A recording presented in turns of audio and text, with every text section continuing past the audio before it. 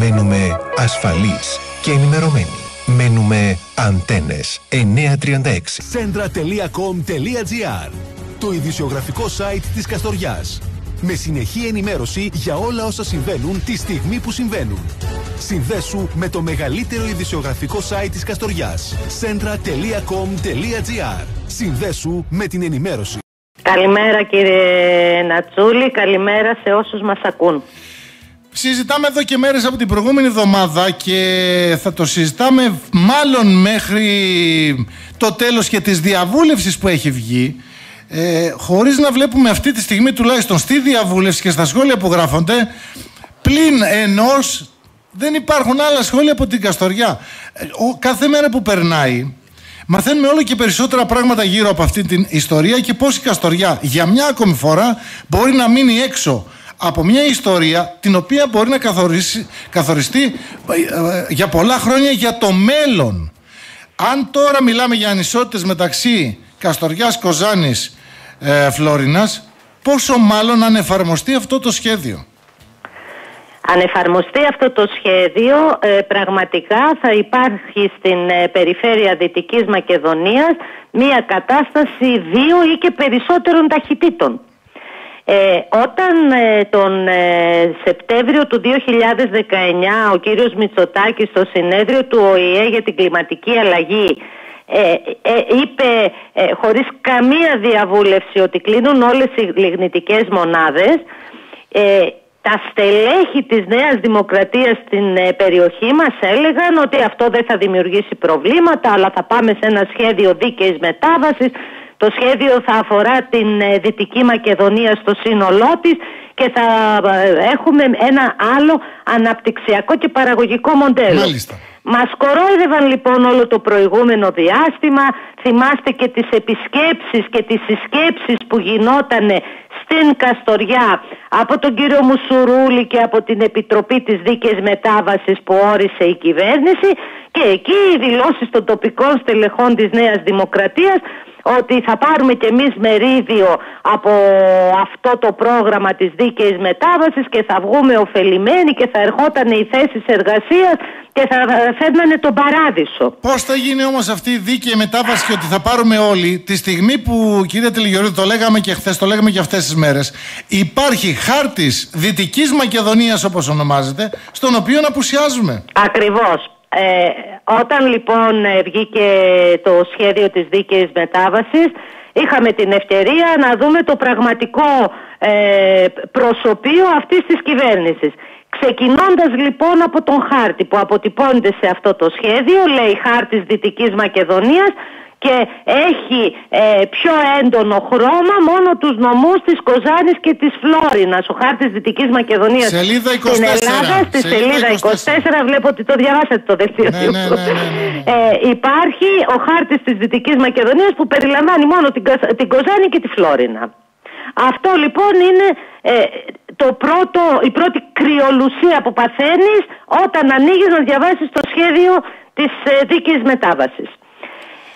Για να μην ε, είμαστε σε αντιπαράθεση με τις άλλες δύο περιφερειακές ενότητες, γιατί εμείς πραγματικά έχουμε περιφερειακή συνείδηση, θέλω να πω καταρχήν ότι ακόμη και σε αυτές τις καθαρά λιγνητικές περιοχές το σχέδιο είναι ανεπαρκέστατο για την επόμενη μέρα.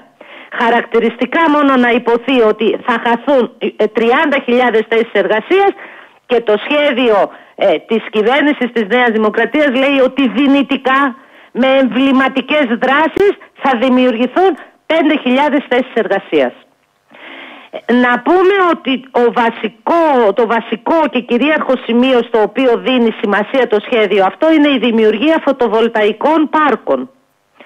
Και μάλιστα φαραωνικών ε, φωτοβολταϊκών πάρκων ε, οι οποίες στη σελίδα 176 και 177 του σχεδίου αποτυπώνονται με χάρτες Μιλάμε για την περιοχή του Αμιντέου και της ε, ε Ορδέας.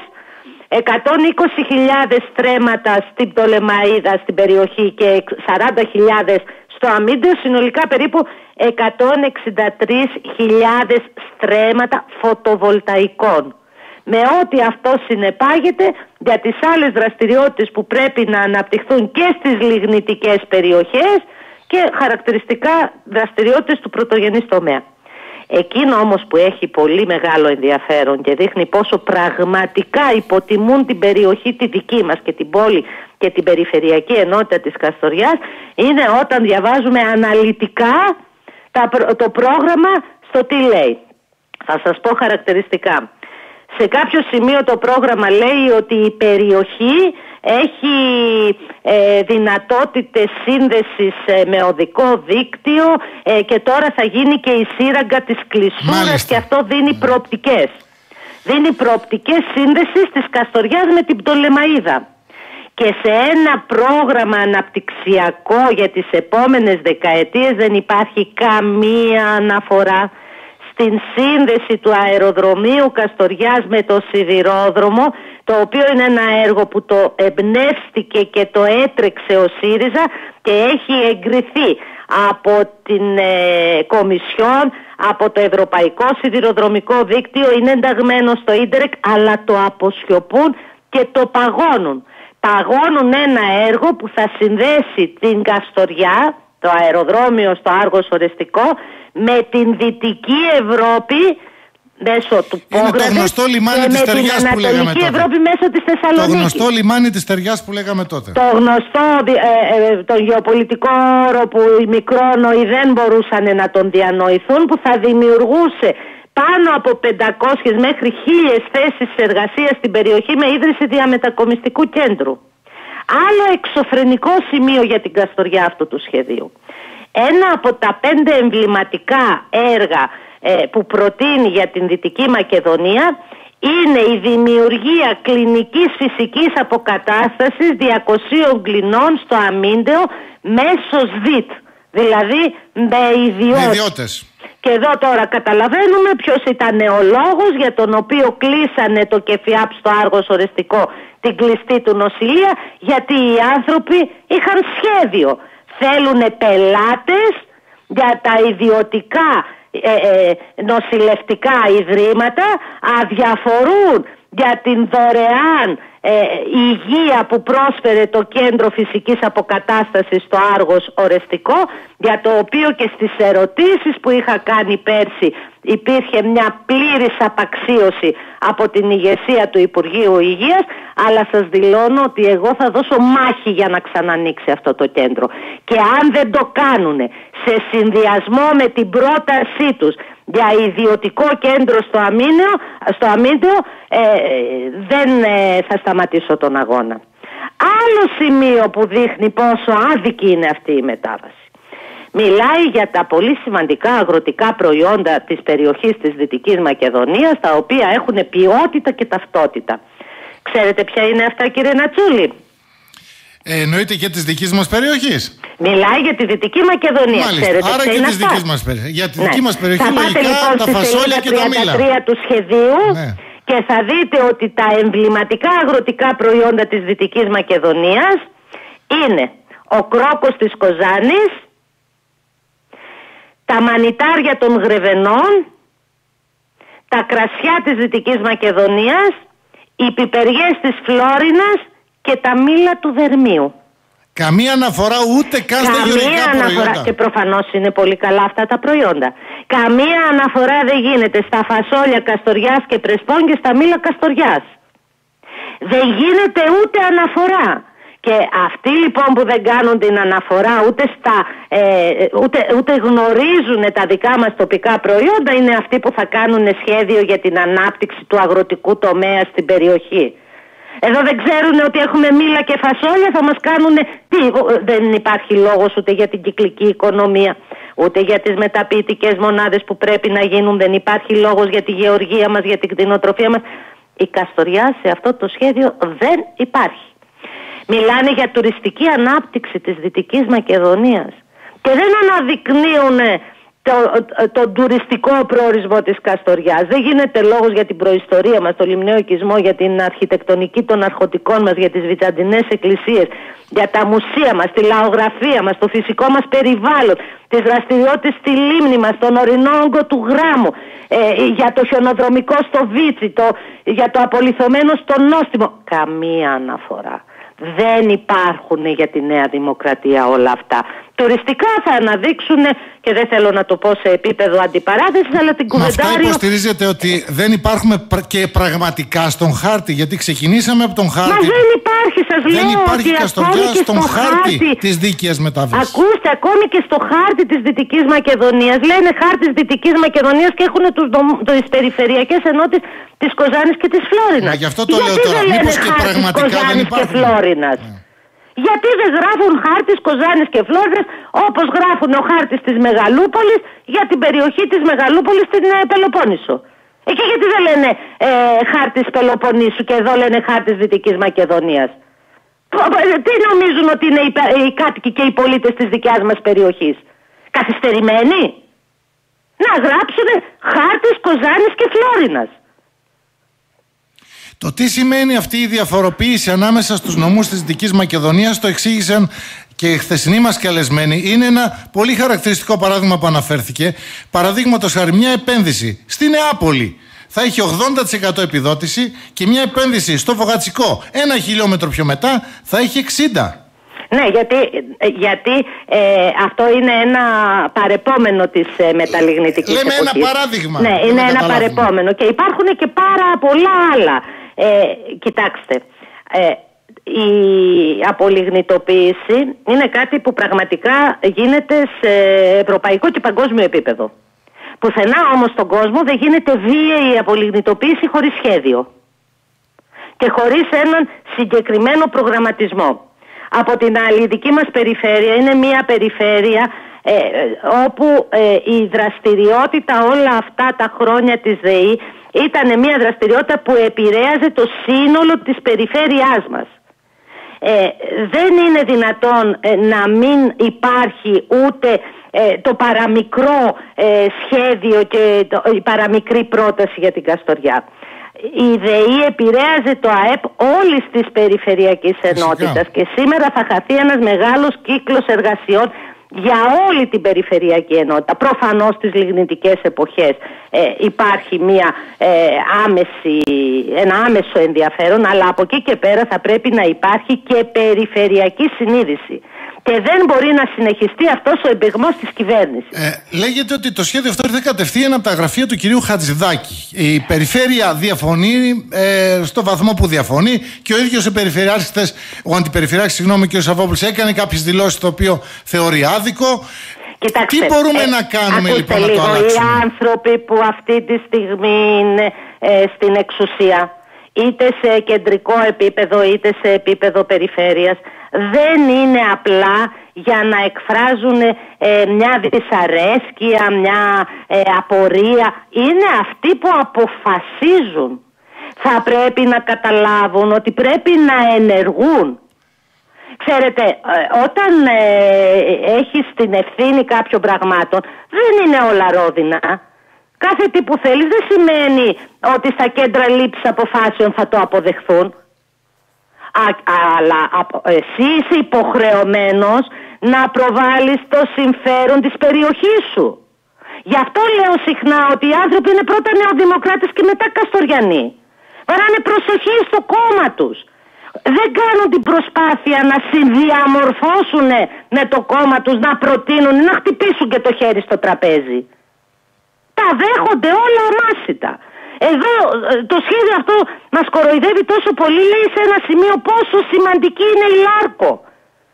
Η Γιατί Λάρκο. μας το λέει δηλαδή; Γιατί μας το λέει; Μα η Λάρκο. Ε, τη Λάρκο προχθές ε, δεν υπήρξε τροπολογία από την Πώλησης, κυβέρνηση της Νέας πώλησης, ναι. Δημοκρατίας για την πώλησή της. Σημαντική για ποιον; Για την ε, περιοχή, για το δημόσιο συμφέρον, για την αξιοποίηση των ε, μεταλλευμάτων της περιοχής από ε, την πολιτεία ή για τον ιδιώτη που σκοπεύουν να την πουλήσουν. Και πόσο σημαντικό λέει είναι το φυσικό αέριο. Τι μας είπανε, ανακάλυψαν την Αμερική. Και τι κάνανε προχθές για να μην ψηφιστεί η τροπολογία για την πώληση της ΔΕΠΑ και των ε, δικτύων και της διανομής του φυσικού αερίου. Βγαίνουν στον ε, Νατσούλη και στους τοπικούς δημοσιογράφους για να πούνε πόσο στεναχωριούνται; Αυτοί έχουν την ευθύνη να διοικήσουν. Αυτοί έχουν την ευθύνη να περάσουν προτάσεις. Υπάρχει Τι περίπτωση μας λέει, αλλαγής τα του κροκοδίλια σχεδίου. δάκρυα. Υπάρχει Και αν περι- δεν μπορούν και θα το πω, και αν δεν μπορούν και είναι Άντε, δεν θα το πω. Πείτε το, όχι, πείτε το. Συγγνώμη που σας διάκοψα. Αν δεν μπορούν να τα καταφέρουν, να μην χρησιμοποιήσω χαρακτηρισμό, να μας το δηλώσουν. Μάλιστα. Κατάλαβαμε. Τώρα, υπάρχει περίπτωση αλλαγής γιατί είμαστε στο κομμάτι της διαβούλευσης. Και μάλιστα όπως υπόθηκε χθες στην εκπομπή μας, στην περίφημη επιτροπή, στην οποία προείσταται ο κ. Μουσουρούλης, προσωπικός φίλος του κ. Τζικαλάγια, κατά δήλωσή του, ε, δεν υπάρχει ούτε ένας Καστοριανός, ούτε ένας. Εκτός του ότι δεν υπάρχει ούτε ένας Καστοριανός. Ε, ο κύριος Μουσουρούλης ήρθε πολλές φορές στην Καστοριά και τα τοπικά στελέχη της Νέας Δημοκρατίας λέγανε έρχεται ο κύριος Μουσουρούλης ο οποίος είναι και φίλος μας προσωπικός και τον ξέρουμε και χρόνια και θα κάνουν έργα. Σε μία από αυτές τις συσκέψεις είχα κληθεί και εγώ. Ε, έγινε στο εξετήριο του προφήτη Λία. Μάλιστα. Στη βιομηχανική περιοχή του Άργους. Πήγα λοιπόν σε αυτή τη σύσκεψη, ήταν εκεί τοπικοί φορείς ε, και ήρθε ο κύριος Μουσουρούλης ο οποίος είπε ήρθα εδώ να δούμε τι μπορούμε να κάνουμε για την Καστοριά και τι σχέδιο υπάρχει κλπ. Κάποια στιγμή στην ομιλία του είπε ότι θα πρέπει να κάνουμε έργα τα οποία να αποδεικνύουν ότι πάμε στην επόμενη μέρα για να ξεπεράσουμε τα προβλήματα που θα δημιουργήσει η απολιγνητοποίηση. Τέτοια έργα λέει για παράδειγμα ε, θα μπορούσε να είναι το διαμετακομιστικό κέντρο στην Φλόρινα. Εκεί λοιπόν τον διεκοψα Και του είπα, με συγχωρείτε πάρα πολύ, αλλά επειδή έχει ξεκινήσει από την κυβέρνηση του ΣΥΡΙΖΑ η υποδομή για δημιουργία διαμετακομιστικού κέντρου στην Καστοριά με αναβάθμιση του αεροδρομίου που η ΕΠΑ κάνει αυτή τη στιγμή τις ε, μελέτες για την αναβάθμισή του με τη σύνδεση του αεροδρομίου με το σιδηρόδρομο που είναι ένα εγκεκριμένο έργο από το Ίντερεκ και ε, μάλιστα με βάση και το ε, προγραμματισμό που υπάρχει το, το 2027 πρέπει να παραδοθεί έτοιμο το έργο. Έχει αλλάξει ο σχεδιασμός της δικής σας κυβέρνησης και αυτό θα μεταφερθεί σε άλλη πόλη; Ο κύριος Μουσουρόλης εκεί λίγο μπερδεύτηκε και μου είπε ότι δεν το γνωρίζω αυτό που λέτε, ε, η περιφέρεια θα κάνει τις προτάσεις. Σε αυτή τη σύσκεψη ήταν και οι εκπρόσωποι της περιφέρειας. Απευθύνθηκα λοιπόν στον Περιφερειάρχη και τον ρώτησα, ήταν εκεί και ο αντιπεριφερειάρχης όλοι, αλλά ήταν ο Περιφερειάρχης ο επικεφαλής και τον ρώτησα αν υπάρχει κάποιος, ε, κάποια τέτοια αλλαγή σχεδιασμού. Και αν θα χαθεί αυτό το έργο και αυτό ε, το εξωστρεφές, το εξωστρεφές έργο που θα δώσει εκατοντάδες θέσεις δουλειά στην Καστοριά, αν σκοπεύει να πάει σε άλλη πόλη. Δεν πήρα απάντηση. Θέλετε να πείτε και με αυτό το παράδειγμα; Μόνο, ναι. μόνο με κοιτούσαν όλοι, δεν μου απαντούσαν. Ένας από όλους, ναι. ο οποίος δεν εκπροσωπεί επίσημα την περιφέρεια, αλλά είναι ε, συνεργάτης ε, στην ε, αντιπεριφέρεια στην Καστοριά, πετάχτηκε πάνω και μου είπε άκου να σου πω τώρα είμαστε κυβέρνηση εμείς δεν θα μας λες εσύ τι έργα θα κάνουμε ό,τι θέλουμε εμείς θα κάνουμε. Ποιος; Δεν θα σας πω. Αλλά έγινε παρουσία όλων. Καταλαβαίνετε γιατί λέω ότι πρέπει να διεκδικείς, πρέπει να προτείνεις, πρέπει να βλέπεις το μέλλον. Δεν γίνεται να συνεχιστεί αυτή η κατάσταση στην περιοχή μας. Είναι η οικονομική κρίση, ήρθε η πανδημία. Διαλύθηκαν πράγματα στην Καστοριά εδώ και 1,5 χρόνια από τη Νέα Δημοκρατία. Πανεπιστήμια, φορέας διαχείρισης, κέντρο φυσικής αποκατάστασης, διετή τμήματα.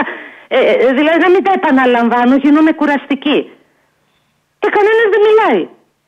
Και φέρανε εδώ τον κύριο Μουσουρούλη που τι μας φταίει ο άνθρωπος για να βγαίνουν φωτογραφίες και να λένε θα κάνουμε και εμείς ε, θα πάρουμε το μερίδιό μας από τη δίκαιη μετάβαση.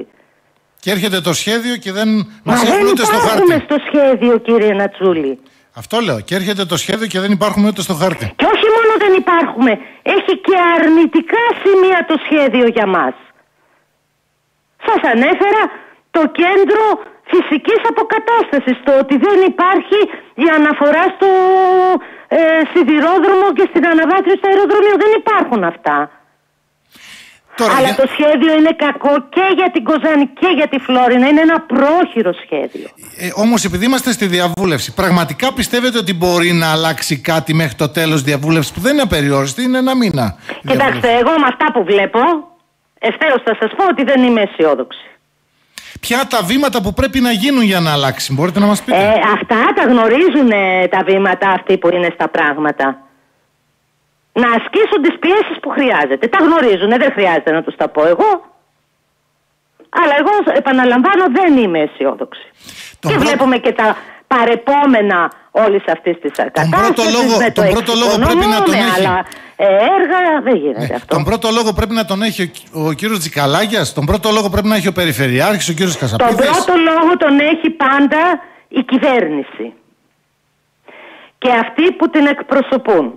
Επίσης ε, θα πρέπει να πιέσει συνολικά η Νέα Δημοκρατία γιατί η Νέα Δημοκρατία στην περιοχή μας έχει βουλευτεί, έχει την ε, διευθύντρια του Πρωθυπουργού στην Βόρειο Ελλάδα, έχει στελέχη που συμμετέχουν σε κεντρικά όργανα. Αυτοί τι κάνουν; Και βέβαια το ρόλο της θα παίξει και η τοπική αυτοδιοίκηση πρώτου και δεύτερου βαθμού. Μάλιστα. Λοιπόν, νομίζω ότι ολοκληρώσαμε αυτό το θέμα.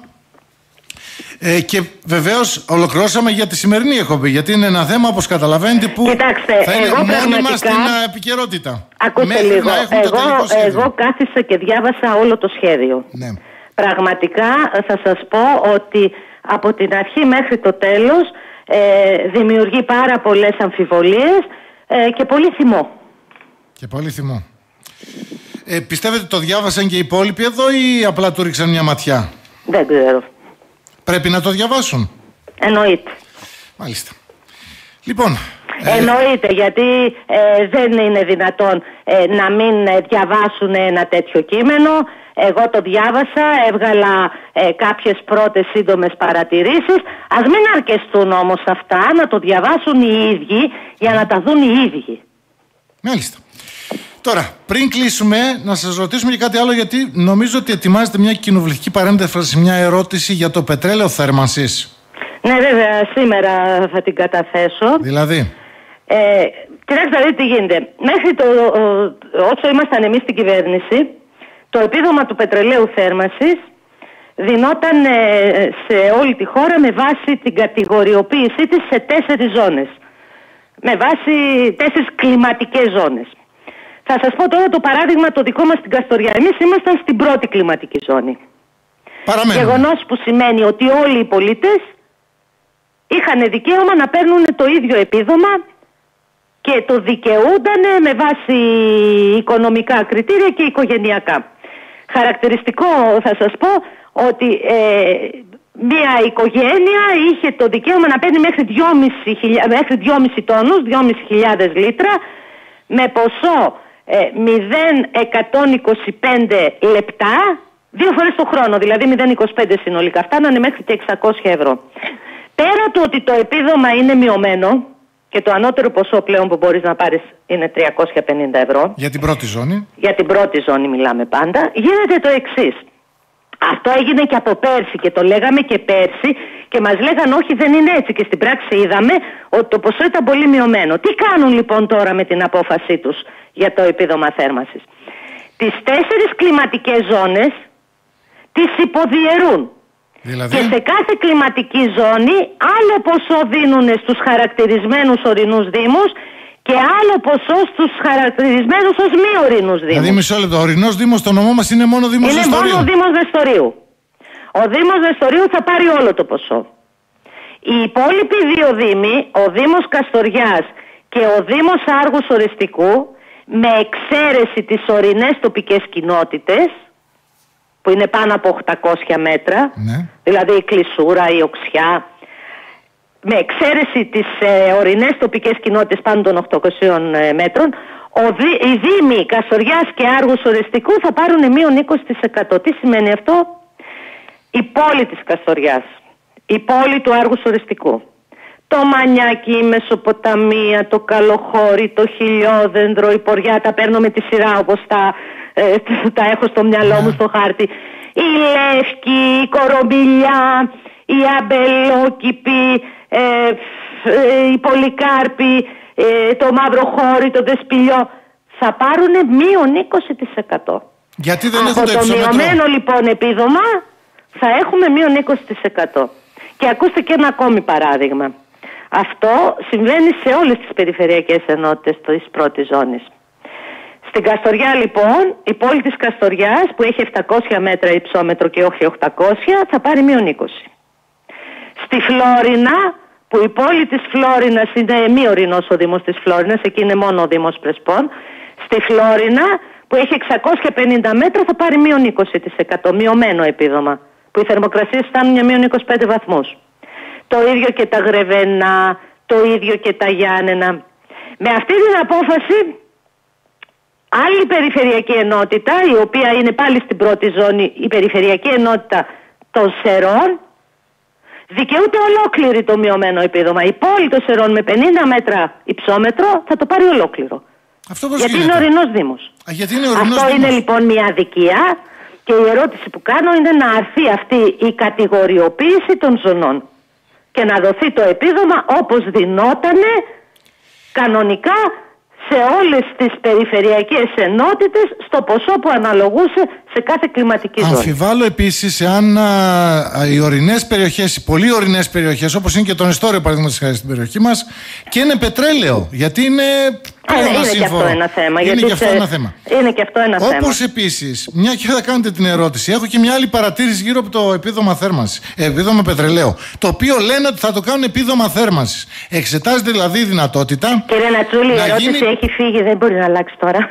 Ναι, ε, τουλάχιστον Να να το, κάνουμε μια να, άλλη. το έχουμε, να το έχουμε υπόψη μας. Πείτε μου, Έλεγαν ναι. ότι θα το κάνουμε θέρμανσης. Δηλαδή να δώσουμε σε- και σε άλλες ε, περιπτώσεις όπως είναι το ε, αέριο, εξαιρώντας τα καυσόξυλα και το πέλετ γιατί μολύνουν. Ακριβώς, εξαιρούν τα καυσόξυλα, βέβαια ακόμη ε, σε Ναι, αυτό αλλά μισό είπανε λεπτάκι. ότι Όταν θα έχεις δούνε διασφαλίσει για οριστικά- ένα νομό όμως και το αέριο, Ναι. τότε μπορείς να Οριστικά εξαιρείς τα δεν έχει υπόλοιπα. αποφασιστεί ακόμη. Αυτό περιμένουμε και θα κάνουμε ερώτηση αν χρειαστεί. Μπράβο. Όταν λοιπόν εξασφαλίσεις και αέριο για το νομό Καστοριάς και το έχω εγώ στην πόρτα μου, τότε μπορείς να εξαιρέσεις το πέλετ, το Όταν ξύλο και έχεις, ποιο άλλο ε, θέλεις. φθηνό, όταν έχεις ε, φθηνό καύσιμο, δεν χρειάζεται ε, να φτάνεις σε τέτοιες λογικές. Μάλιστα. Ε, έχει πολύ ενδιαφέρον και αυτή η ερώτηση. Θα περιμένουμε όντως την αντίθεση. Νομίζω δεν το ξέρει πάρα πολλοί κόσμος. Ο κόσμος πιστεύει θα πάρει 350 Ξέρετε και ευρώ. πόσοι πήρανε μειωμένο επίδομα και λέγαμε τι γίνεται. Είναι απίστευτο αυτό.